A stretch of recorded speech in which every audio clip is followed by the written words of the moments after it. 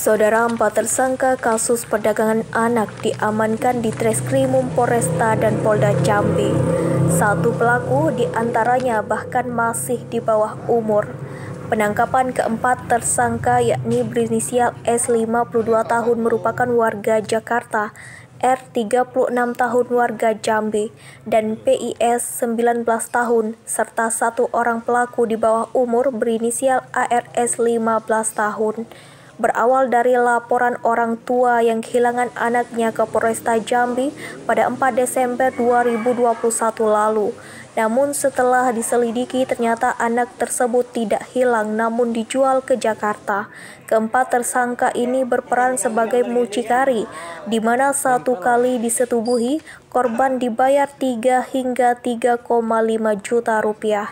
Kapolresta Jambi Kombes Pol Eko Wahyudi mengatakan saat ini sudah ada 13 korban, di mana rata-rata usia korban masih berumur 15 tahun.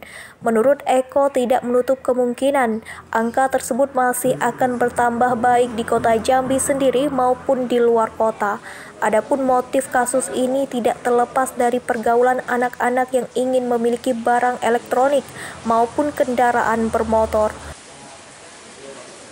sore rekan pada kesempatan sore ini kami dari Polresta akan melakukan konferensi pers terkait dengan tidak pidana perdagangan orang dan menyetujui anak bawah.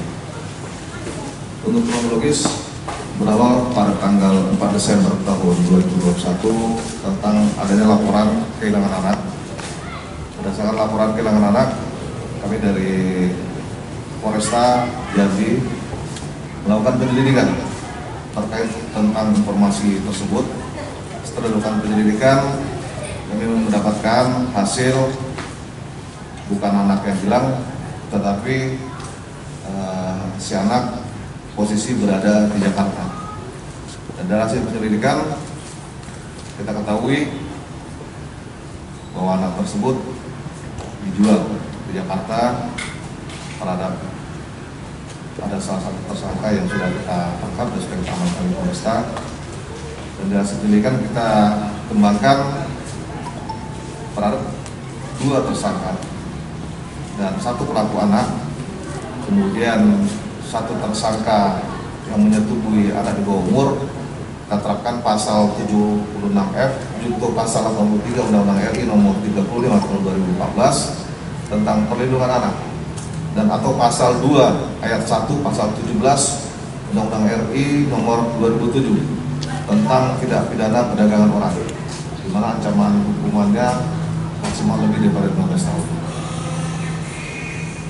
Dari dua laporan polisi yang sudah kami tangani, yang sudah masuk ke Polresta, untuk korban semuanya ada 13 orang dan tidak menutup kemungkinan dari pengembangan penyidikan untuk korban akan bertambah. Itu dua laporan polisi yang sudah masuk ke Polresta. Sementara dua laporan polisi lagi yang sudah masuk ke Direktorat Kriminal Umum Polda Jambi, itu ada dua laporan polisi yang tidak menutup kemungkinan juga akan bertambah korban-korban anak yang eh, lokus deliktinya baik di kota Jambi maupun di salah satu kota di Pulau Jawa, yaitu di Jakarta. Mungkin lebih jelasnya secara teknis nanti akan disampaikan oleh Pak Dirkrim.